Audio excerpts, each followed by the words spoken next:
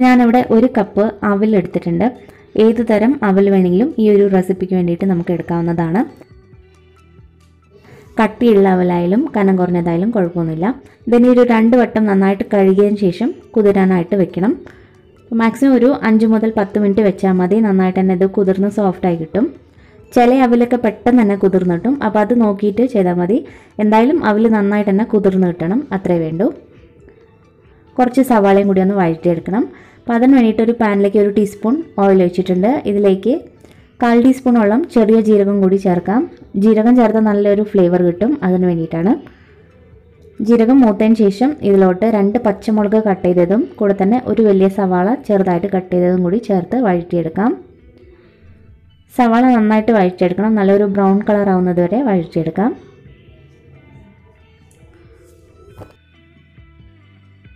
സവാള അത്യാവശ്യം വഴണ്ട് വന്നിട്ടുണ്ട്. ഇനി ഇതിലോട്ട് തേങ്ങയാണ് ചേർക്കേണ്ടത്. രണ്ട് ടേബിൾ സ്പൂൺ ചെറിയ തേങ്ങയും കൂടി ചേർക്കാം. തേങ്ങ കൂട്ടി ചേർത്താലും കുഴപ്പമൊന്നുമില്ല.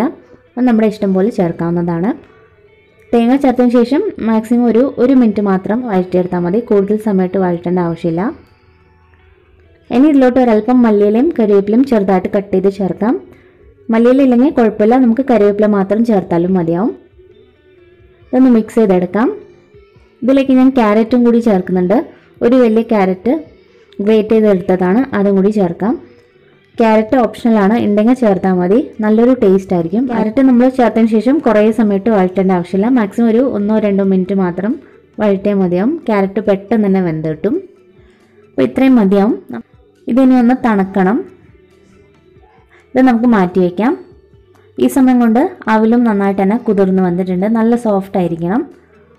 വെള്ളം പിഴിഞ്ഞെടുത്തതിന് ശേഷം ഇതൊരു മിക്സിയുടെ ജാറിലേക്ക് മാറ്റാം. ഇനി ഇതിലേക്ക് അര കപ്പ് ഗോതമ്പ് പൊടിയും കൂടി ചേർക്കാം. ഗോതമ്പ് പൊടി ചേർക്കുന്നത് നല്ലൊരു ബൈൻഡിങ് കിട്ടാൻ വേണ്ടിയിട്ടാണ്. ഒരു കപ്പ് അവിലിന് അര കപ്പ് ഗോതമ്പ് പൊടി എന്ന കണക്കിൽ വേണം ചേർക്കാനായിട്ട്. കൂടെ തന്നെ ഒരു കപ്പ് വെള്ളം കൂടി ചേർ ചേർത്ത് കൊടുക്കാം. ആവശ്യത്തിന് ഉപ്പും കൂടി ചേർക്കാം. അതിനുശേഷം ഇതെല്ലാം കൂടി ഒരു സ്പൂൺ വെച്ച് നന്നായിട്ടൊന്ന് മിക്സ് ചെയ്തെടുക്കുക അതിനുശേഷം അരച്ചെടുത്താൽ മതി. അപ്പോൾ നമ്മൾ പ്രത്യേകം ശ്രദ്ധിക്കേണ്ടത് വെള്ളം കൂടിപ്പോയരുത്. കുറച്ച് കട്ടിയിൽ തന്നെ വേണം അരച്ചെടുക്കാനായിട്ട്. എന്നാലേ നമുക്ക് ആ ദോശ ശരിക്കും കിട്ടുള്ളൂ. ഒരുപാട് വെള്ളമായി പോരുത്.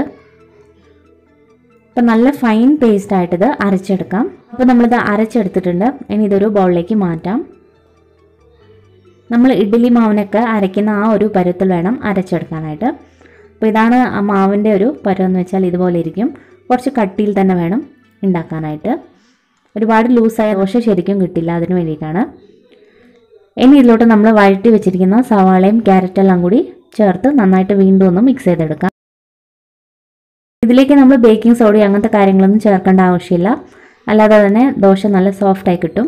മാത്രമല്ല ഇത് നമ്മൾ റെസ്റ്റ് ചെയ്യാനൊന്നും വെക്കേണ്ട. ഉടനെ തന്നെ ഉണ്ടാക്കാൻ പറ്റുന്ന റെസിപ്പിയാണ് അപ്പോൾ നന്നായിട്ട് ഇത് മിക്സ് ചെയ്ത് കൊടുക്കുക. ഈ ഒരു കട്ടിയിലാക്കിയാൽ മതി. ഇനി നമുക്ക് ദോശ ചുട്ടെടുക്കാം. അതിന് വേണ്ടിയിട്ട് ഒരു പാനിലേക്ക് കുറച്ച് ഓയിൽ തേച്ച് ഓയിൽ തേച്ചതിന് ശേഷം ഒരു സ്പൂൺ മാവ് നമുക്കിതുപോലെ ഒഴിച്ചു കൊടുക്കാം. ഇത് ഒരുപാട് വലിയ ദോശയാക്കാതെ ഇതുപോലെ ചെറുതാക്കുന്നതായിരിക്കും നല്ലത്. ഒരു സ്പൂൺ മാവ് അങ്ങനെ ഒഴിച്ചു കൊടുത്താൽ മതി. കൂടുതൽ സമയത്ത് നമ്മളത് പരത്താൻ നിൽക്കണ്ട. കുറച്ച് കട്ടിയിൽ തന്നെ ഉണ്ടാക്കുന്നതാണ് നല്ലത്. എന്നാലേ നമുക്ക് ആ ശരിക്ക് കിട്ടുള്ളൂ. കുറച്ച് ഓയിലും കൂടി ഇതിന്റെ മുകളിലായിട്ട് ഇട്ട് കൊടുത്തതിന് ശേഷം അടച്ചു വെച്ച് മീഡിയം ഫ്ലെയിമിലിട്ട് നമുക്ക് കുക്ക് ചെയ്തെടുക്കാം. ഒരു ഭാഗം നന്നായിട്ട് വെന്തതിന് ശേഷം മാത്രമേ മറിച്ചിടാൻ പാടുള്ളൂ. ആ മാവൊക്കെ നന്നായിട്ടൊന്ന് വെന്തതിന് ശേഷം പതുക്കെ നമുക്കിതൊന്ന് മറിച്ചിട്ട് കൊടുക്കാം.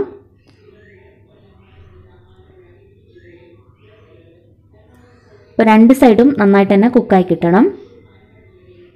വലിയ ദോശക്കല്ലിക്കാണെങ്കിൽ നമുക്കൊരു നാലെണ്ണം ഒറ്റയടിക്ക് തന്നെ ചുട്ടെടുക്കാവുന്നതാണ്. ഇനി നമുക്ക് കുറച്ചും കൂടി വലുപ്പത്തിൽ വേണമെങ്കിൽ ആക്കാം. അങ്ങനെയാണെങ്കിൽ രണ്ട് സ്പൂൺ മാവ് നിറച്ച് ഒഴിച്ചു കൊടുക്കുക കുറേ അങ്ങ് പരത്താതെ മാവ് ഒഴിച്ചു കൊടുത്താൽ മതി. അത് ശരിക്കും ഒന്ന് റൗണ്ട് ഷേപ്പിൽ തന്നെ സെറ്റ് ആയിക്കോളും. പിന്നെ നമ്മൾ മീഡിയം ഫ്ലെയിമിലിട്ട് വേവിച്ചെടുത്താൽ മതി. ഒരു സൈഡ് വെന്തതിന് ശേഷം മാത്രം മറിച്ചിടാൻ നോക്കുക. അപ്പോൾ ഇത്രയുള്ള നമ്മുടെ അവിൽ കൊണ്ടുള്ള ദോശ റെഡി ആയിട്ടുണ്ട്. ഇതിന് പ്രത്യേകിച്ച് ഒരു കറികളൊന്നും വേണ്ടി വരില്ല. അല്ലാതെ തന്നെ നല്ല ടേസ്റ്റാണ് കഴിക്കാനായിട്ട്. നല്ല സോഫ്റ്റുമാണ് നിങ്ങൾക്ക് കുറച്ചും കൂടി വലുപ്പത്തിൽ വേണമെങ്കിൽ വലുപ്പത്തിലാക്കാം. പക്ഷേ നമ്മൾ ആ മാവ് ഒരുപാടിട്ട് പരത്താതിരുന്നാൽ മതി.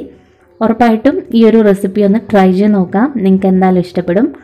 അപ്പോൾ ട്രൈ ചെയ്തതിന് ശേഷം നിങ്ങളുടെ അഭിപ്രായങ്ങളൊക്കെ അറിയിക്കണം. അതുപോലെ വീഡിയോ ആദ്യമായിട്ടാണ് കാണുന്നതെങ്കിൽ ഇഷ്ടപ്പെടുകയാണെങ്കിൽ സബ്സ്ക്രൈബ് ചെയ്യാനും മറക്കരുത്.